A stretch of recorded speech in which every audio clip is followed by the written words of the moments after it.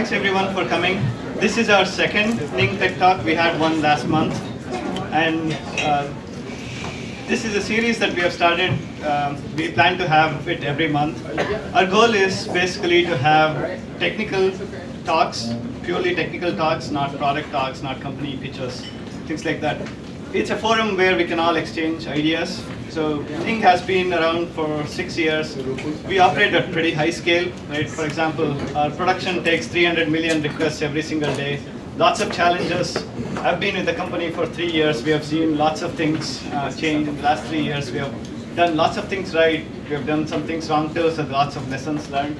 So this is, uh, I guess, uh, our side of story, sharing our story, sharing our lessons learned, talking about different topics uh, every every month. It's also a forum where we'll also invite external speakers to come in. So if you guys are interested, if you have something to present, happy to talk to us. Uh, we can arrange that too. So Pierre is going to talk about real-time analytics. Pierre is the analytics architect. He's been with the company for one and a half years, two years, two years. Uh, as we have scaled our backend, as we have scaled the ETL process analytics, he has been there all along with all the successes and some failures, so lots of things to share. Uh, he's our go-to man if something breaks in our real-time stuff, if it lags. Awesome. So hi, my name is Pierre. I have been working on analytics for the past few years. And what I'm going to talk about today is um, the story of our analytics architecture. Uh, we were in uh, the batch-oriented, uh, we had a batch-oriented uh, architecture a year ago. And we've been working over the past year um, into a more real-time feed and how we can do analytics on, a, on, a, on real-time data. Awesome. So this is our um, architecture as it, as it was about a year ago. Uh, we have a main Hadoop cluster where we um, get events from either um, our platform services or uh, browser. An event is something that tells us how people are using a feature, how people are using uh, an API in the backend. And all this data turns into uh, Netezza, which is our main um, data warehouse. If you don't know Netezza, it's an appliance and, uh, sold by IBM think about it as a giant distributed SQL database. Uh, and this is where we do all our uh, reporting. This is where our BI stack um, relies on. In front of Hadoop, we have a little piece we call a collector. Uh, has been open source for a year, good year now. All, if you want to get data into Hadoop, this is the way to go um, at Ning. We use Thrift, um, either the Thrift RPC on the Java side, or um, and we have an HTTP API, but eventually everything turns into Thrift, uh, Thrift, um, the serialized format into sequence files in, uh, in Hadoop. I talked about the concept of events. Uh, the main thing to remember here is an event is a timestamp and some data associated to it. This is actually um, a real event that uh, we have. It's the Jetty log event. You uh, I guess, know what, what it is. Um, every, uh, every core, every, every API with, um, uh, we heavily, uh, we are heavily relying on, on Jetty here. Um, in the request handler, you can set, say, hey, uh, store all my requests, and the request object will be turned into a Thrift event and end up in Hadoop and then in Netezza eventually. Currently, we're handling 50-ish different um, Thrift uh, types.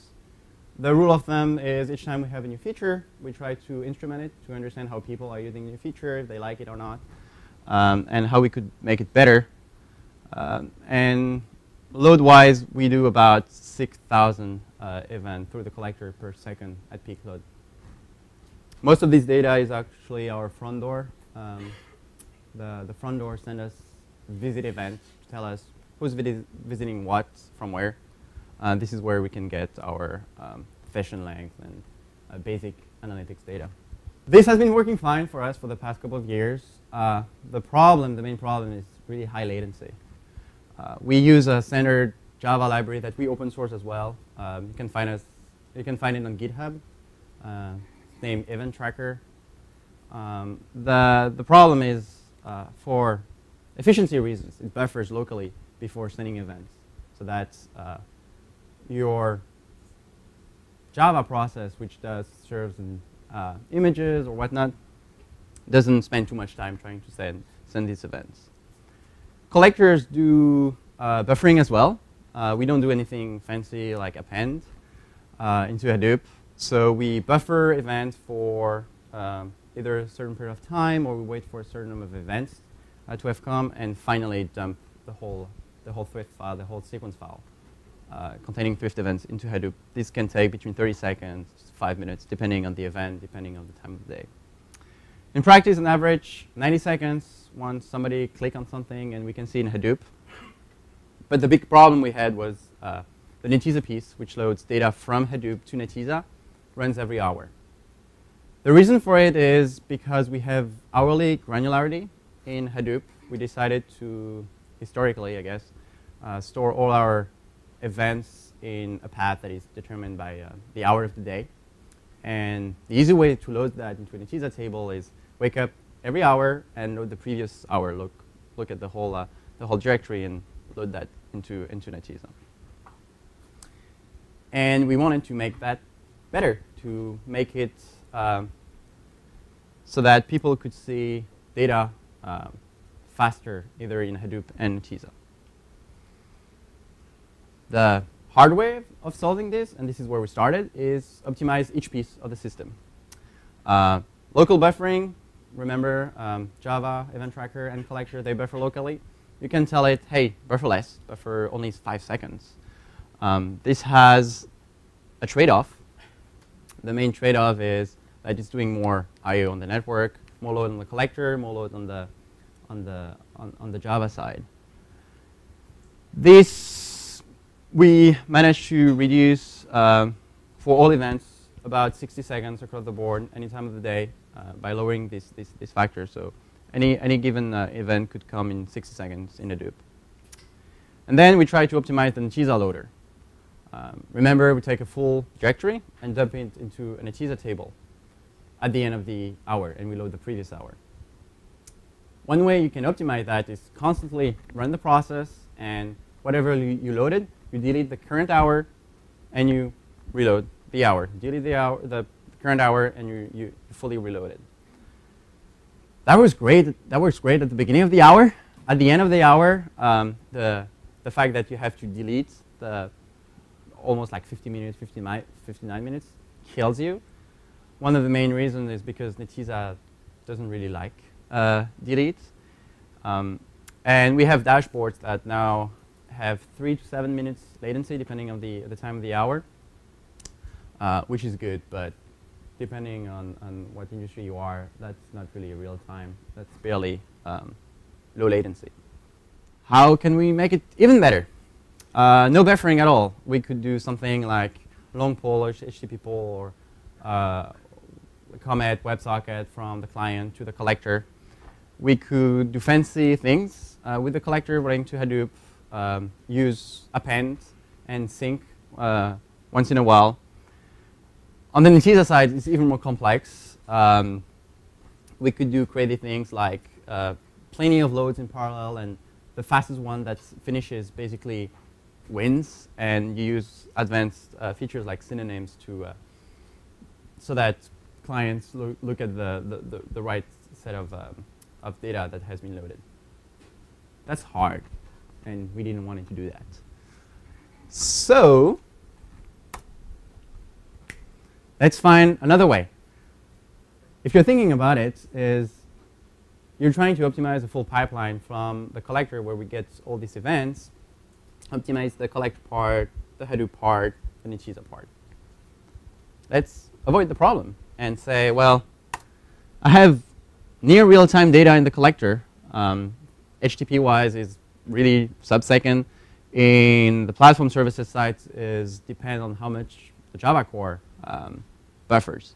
So let's just tap into the collector and see the traffic. We have long-term retention traffic, which goes into Hadoop, and uh, we can load an hour later if we, if we want to into Netezza. And T2, we are heavy user of ActiveMQ already, so let's reuse ActiveMQ and, um, and just send all these events there. Remember, we're using Thrift events. Um, we decided to map a topic, an ActiveMQ topic, uh, non-persistent to a thrift types. Uh, what, what this means is all these events coming in, we turn it into JSON um, in the collector and publish to topics in ActiveMQ. If someone is listening to it, great, do something with it. Nobody is listening to it, drop it. The data will be in uh, Hadoop anyway, eventually. So when we decided to do that, uh, we didn't really know um, how this would work, and we went the dumb way. That's the code that we wrote at the beginning. Um, we get an event and creating a producer for, for a certain topic and send it. Uh, if you go to activemq.org slash helloworld.html, it's roughly the same snippet they, they give to you. A little bit of testing. Um, in QA, we use Faban for, uh, for um, production, uh, like uh, load testing. And with a tiny fire hose, it, it was working great. And we had sub-second events for almost everything, even, even visit. Yes. Oh, the question was, uh, who's actually consuming it right now? And currently, nobody. Uh, but I'm going to talk about what we're doing with it. A little bit of load testing in QA. All worked fine. Unicorns. It was great. Uh, so we decided, hey, just let's push it to prod to the real real feed, and we we'll see what happens.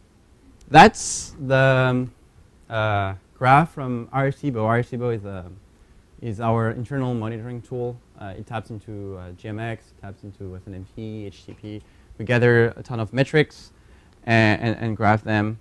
It's really useful after, after deployments to see how, how your, uh, your service performs. And this is the actual graph right after um, the deployment. So what, what it shows you here is, uh, is a spike in the new generation. Um, error was uh, kind of stupid. Um, we forgot to close a producer all went fine. We added a JMX runtime switch, uh, something to never forget each time you're doing something, uh, at least in Java.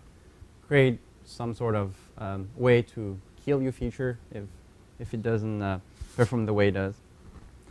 All right, so fix the bug, try again. That's an alert I got the day after, I think, the deployment, um, 6 a.m. in the morning, uh, CPU spike on the collectors. The error was a little bit more tricky to find. JMX, uh, the ActiveMQ feed went down at this time. And what you do? Well, you catch the exception and you logger.warn. Problem with that is when you have a full feed, uh, 6K per second, uh, and if you flush each time you're doing a, a log call, um, you're going to kill your box. Um, so this patch is not actually what we did. You, you, can, you can output every X failure or or don't, don't flush it. Eventually, we fixed um, our, all our bugs. Um, the goal of remembering all of these errors was it's okay to fail, it's okay to go with the hello world snippets. Um, just make sure that you have a proper way to monitor uh, what you're doing. We're using Arecibo, has been working really well for us. Uh, and runtime JMX, which is something I learned at Ning, uh, will save you more than one time. Back to your question. We have an IMQ feed. What do we do with it? Let's chart data. To chart it, um, we decided to go a little bit deeper and say, let's introduce Esper. Uh, for those who don't know, uh, Esper, it's a library that um, operates on time series data on live streams. Uh, the typical use case is um, ticker and stocks data. Uh, the nice thing about it is it gives you um, a DSL which from far away looks like a little bit like SQL. And our idea was, well, let's build something that relies on Esper and to extract the which, which data we want to actually look at and do some, uh, some graphing.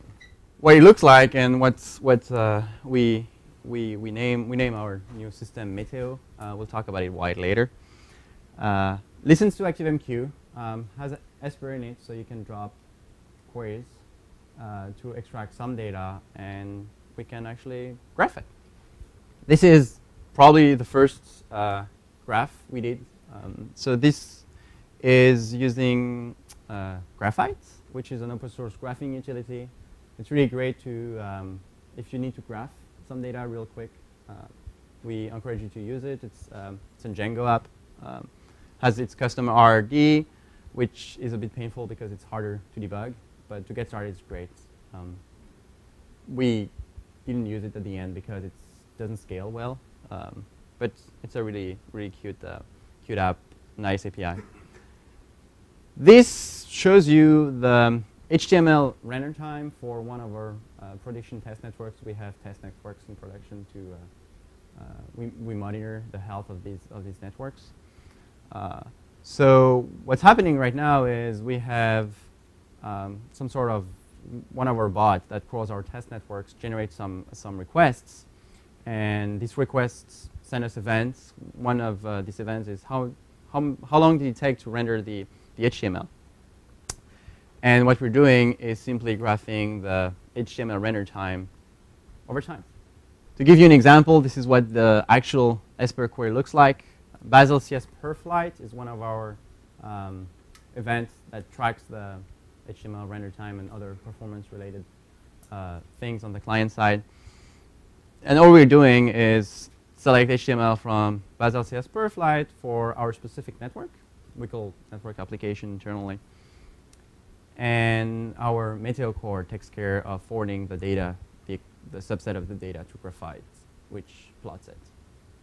Another graph we did was, hey, what's the health of the, of the, of the system? Can we take a look at the overall system overall? Uh, look at two, three, four, and 500 uh, responses and see what's the relationship between them. As you can see that here, uh, most of the responses are 200, which is a good thing, and the 500 pretty tiny. Again, that's not really useful because that's going to change this pie chart with, uh, which changes over time. That's one of the worst way to, to actually graph things, that's uh, data that changes over time. Uh, but we were still in the process of figuring out what we, what, what, what we could do with it. Again, give you an idea of uh, what we're doing here uh, on the on the query side. You can make the query easier, I guess, with if or, or case statements. But for simplicity, what we're doing is we count the, uh, the number of response codes, the number of uh, visits we had from our main visit feed. We call it front door visits. Uh, we do that on 10 second chunks. Um, Esper, you can tell Esper um, to operate on uh, windows of certain length either in number of events that it gets or in the number of, um, of length, time. And we're basically extracting all this data and, and graphing it. What would be more interesting is to be able to graph what uh, things related to SLAs we may have and maybe alert on it. So let's say we have an SLA that says, well, each page across all our Ning networks should render in less than a second uh, for 95% for 90% of the user. Totally buggy SLA, just an example. But uh, let's say we have such um, an SLA, can we leverage Esper to compute the TP, the personal line, um, and see if we can meet this SLA? And more importantly, if we break this SLA, can we alert in almost real time to quickly operate on it so that um, we don't, if we have an incident, uh, we can react on it really, really quickly. This is, I'm going to show you the, the query in a second, uh, but this is the, the graph we, we came up with. Um, don't know if you can see the blue in the, in the back, but uh, you have basically three lines. Um, this is the TP, TP90, uh, or TP, actually, TP99 in uh, yellow, TP90 and the um, number of uh, requests we had during the window when we computed the TP. The reason we're uh, showing that line is to get an ID if maybe we have more requests or less requests in a certain window. Um, that, that would affect uh, the potentially the TP. So the fact that that guy is going down, but we still have the same number of requests means um, there was something maybe before here uh, that was going on. That's the TP99. In order to compute that, the this is what the Esper query may look like. Um, the regex here only tells you look at the main page. The reason we're doing that is um, we have pages in our Ning networks with ton of uh, maybe JavaScript, custom JavaScript uh, that people may insert Um, so looking at these pages would bias, would add noise in the, in, in the data. We know that the main page is fairly, fairly static, so we wanted to, to look at that. We look only at 200s, and all we're saying is give me the TP90, TP99, and uh, the third line for reference, the baseline, how many visits we had. And we compute that over a time window of, of a minute, 60 seconds.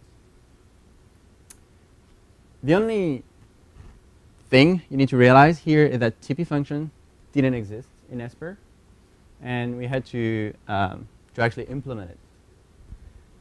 That wasn't really, really too hard. This is a part of the Esper UDA. The UDA stands for um, user-defined aggregates. Aggregate because not a function, but aggregate because you're looking at a window of, uh, of data. Uh, and the way you want to write your, uh, your, um, your, aggregates in Esper is pretty simple, actually. What Esper gives you is, um, is an event, um, event model. You get events given a certain window, and events leave the window. So what you can do is simply operate on a, on a vector. That guy, um, basically each time an event comes in, adds to the, to the vector, and you compute at the end when your, your time is up the, the TP, and you have a little bit of glue XML. That is also somewhat interesting. We, do, we can do um, alerting uh, if you define beforehand an SLA and you define your Esper query that um, operates on it. What we wanted to do is take something uh, to look at an even more interesting problem is you have all this real-time data.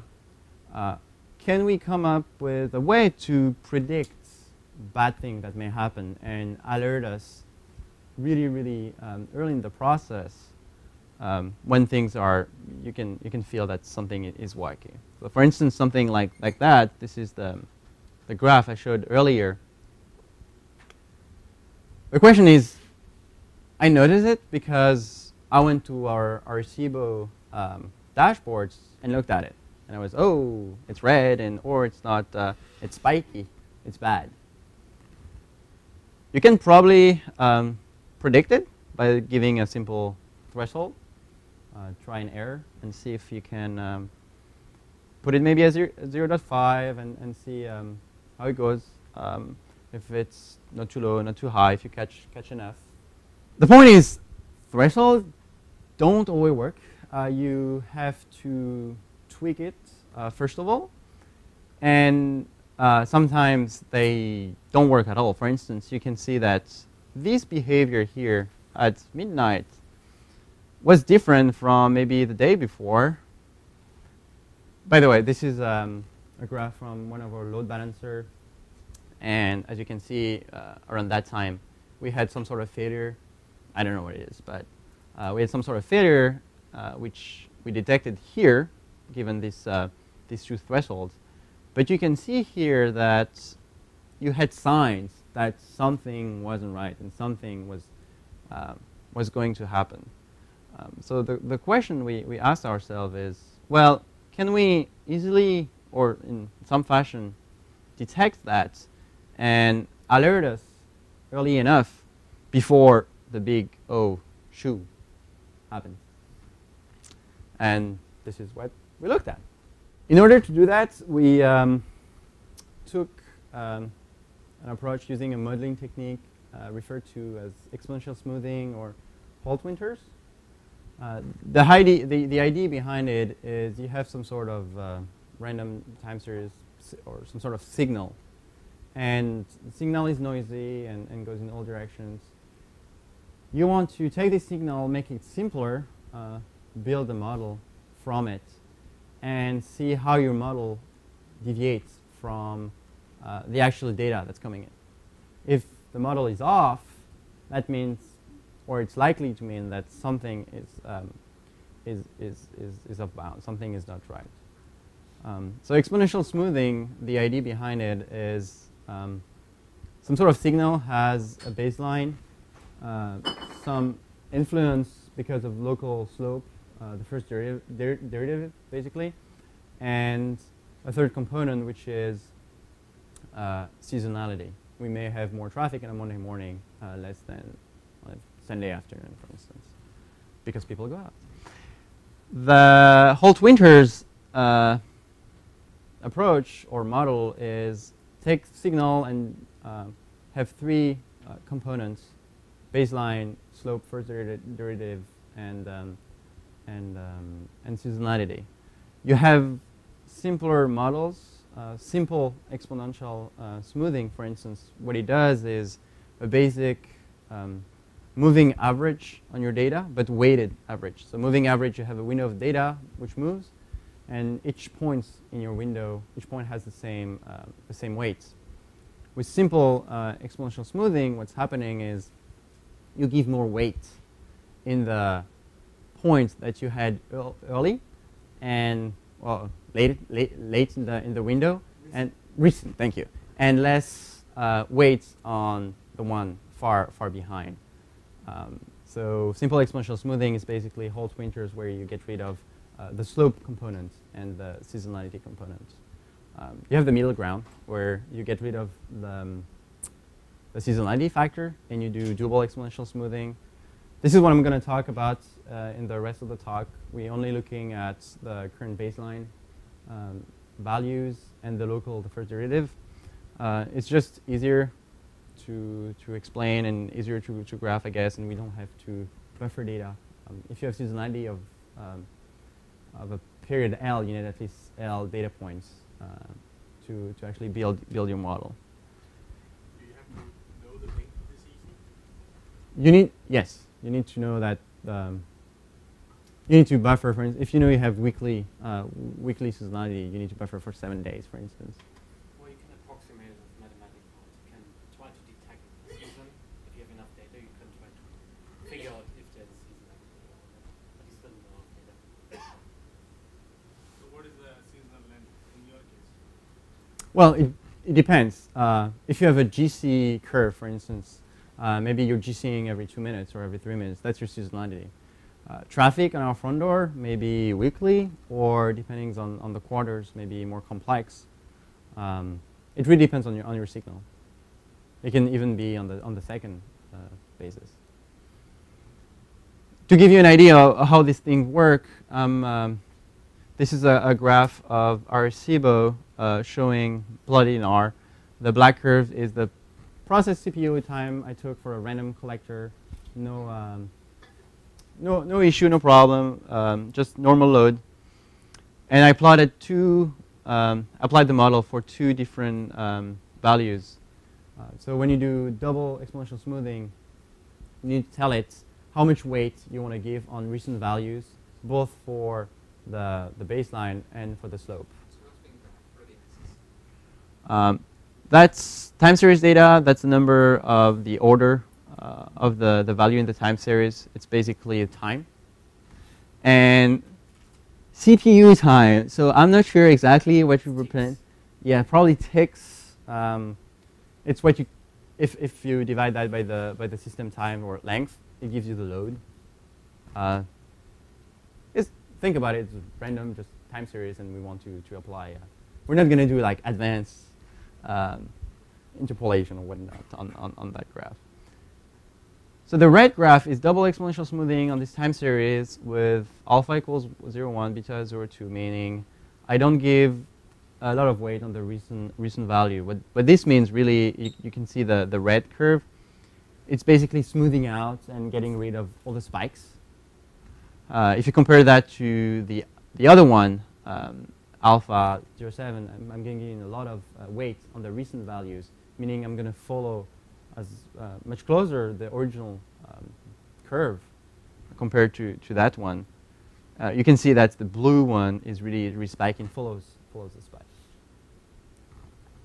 What you can also notice here is the original value stop, but the curve of the, the model continues. Since you have a trained model at the last uh, value t here, you know you, are representing your um, your curve with some mathematical model, uh, namely uh, alpha plus beta t uh, for some value of alpha beta. and you can just continue plotting that, and this is your prediction, your forecast on what the, the curve may, may look like. And this is the big idea we had behind it.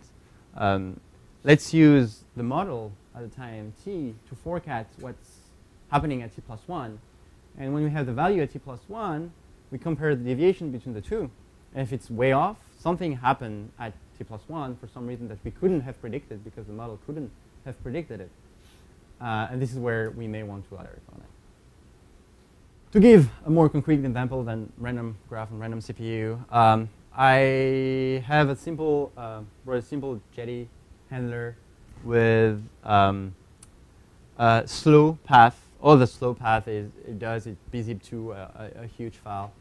Uh, bzip2 is really CPU consuming, so we're going to look at the at the load as reported by uh, by uh, JMX, and just call slash slow at some point and see if we can uh, simulate a failure and see if we can have uh, apply the what we talked about to see if we can detect the, the failure. So we had to implement Holt Winter in Esper. Um, that wasn't given for us.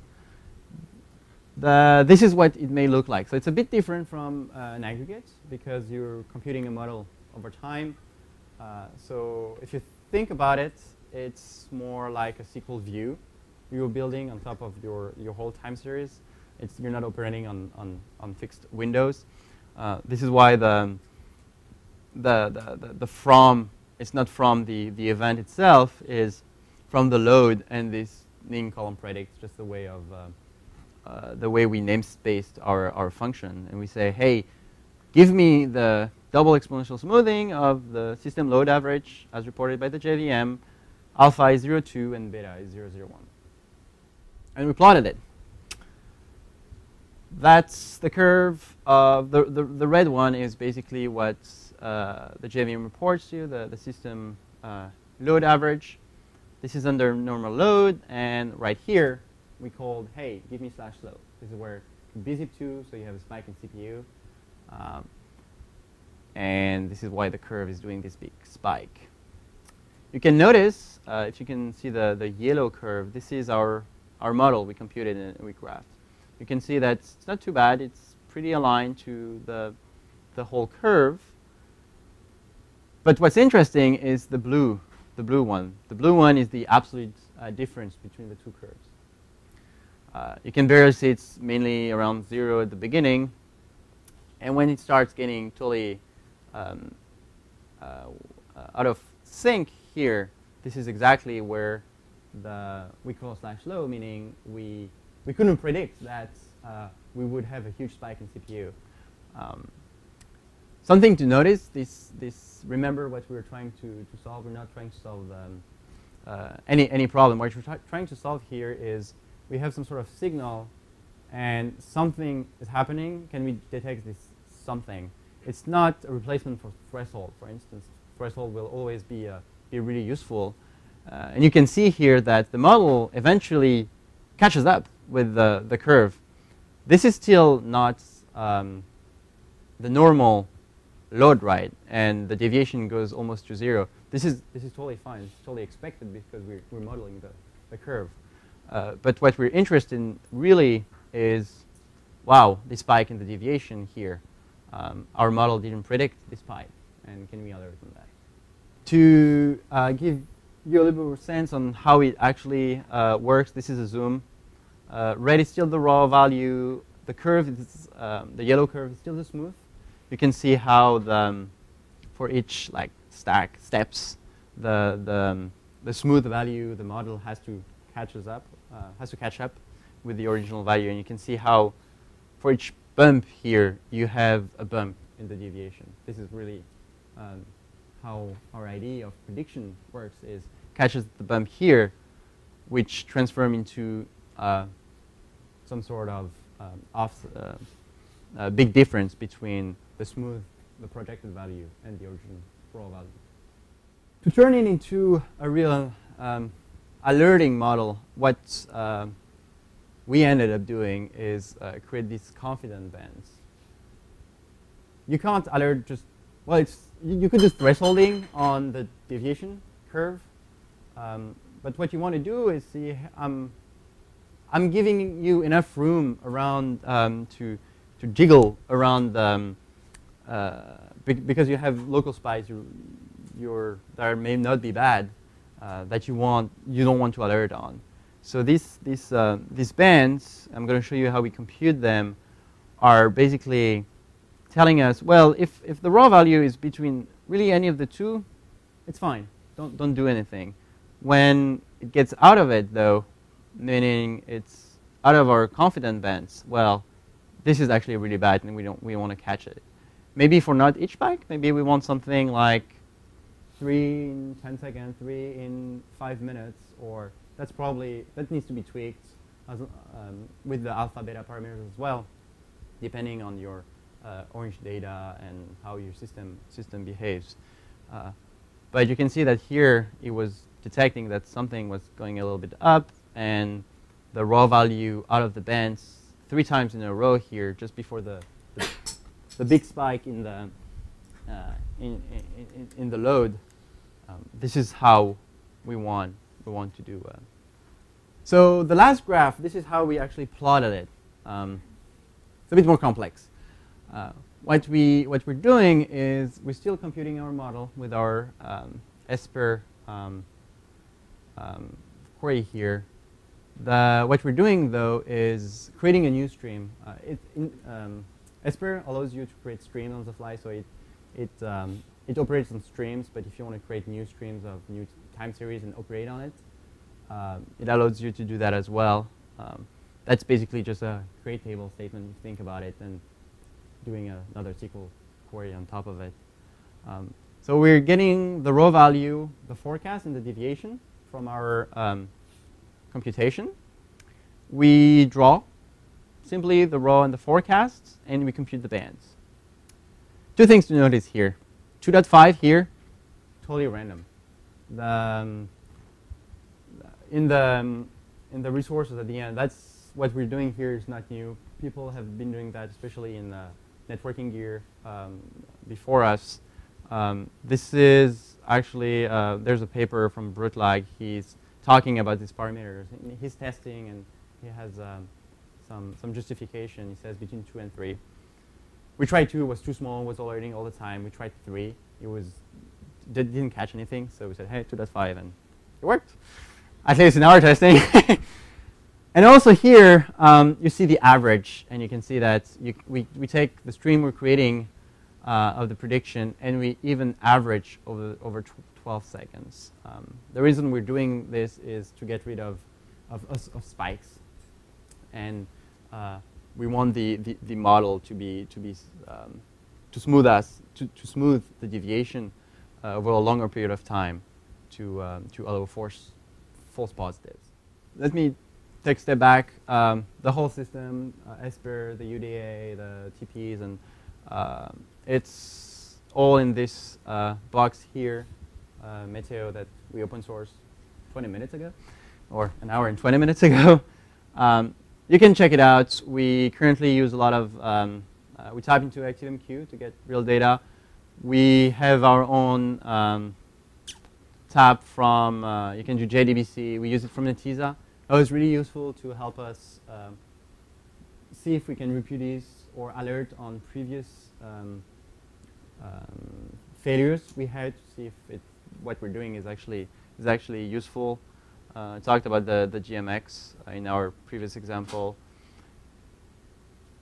And so the graphing part is interesting. Um, we said at the beginning, hey, well, we have all this data, let's graph it. It's actually really hard to find a good uh, project where you can just drop, da drop data in and it graphs it nicely. Uh, we started with the graphite, which is nice. Uh, the problem is custom RRD. It's really hard to debug. There's tiny bit of the documentation, and when we put our full front door feed in it, it just fell over and we couldn't debug it. But it's still nice to, to play with. Um, taps into Arecibo, which is our uh, alert manager. We has a UI component, um, but not too great. We try Reconnoiter uh, via RESTman. Uh, Reconnoiter is really complex to set up, and that was complicated, so we get rid of it. and eventually, all the graphs you, you, have been seeing uh, was uh, graphed on top from, from um, OpenTSDB. So, so, we push the data into OpenTSDB. Um, I don't know if you guys know, but OpenTSDB is a time series database, open source, a year ago, I guess, from StumbleUpon.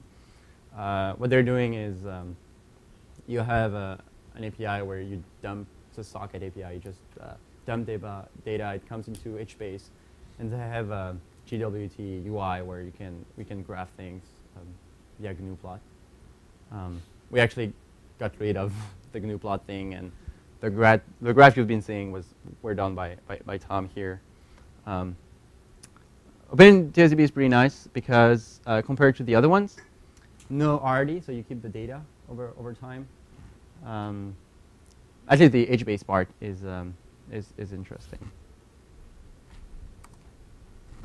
Demo to show you that it's actually real time. What you're looking at right now is um, the green curve is the TP90 of uh, one of our main uh, Ning networks for, for the home page. The yellow one is our forecast, and the red and blue one are our confident bands. That's actually live from production. Data goes through our Meteo system directly into HBase via, uh, well, not directly, to HBase via OpenTSDB.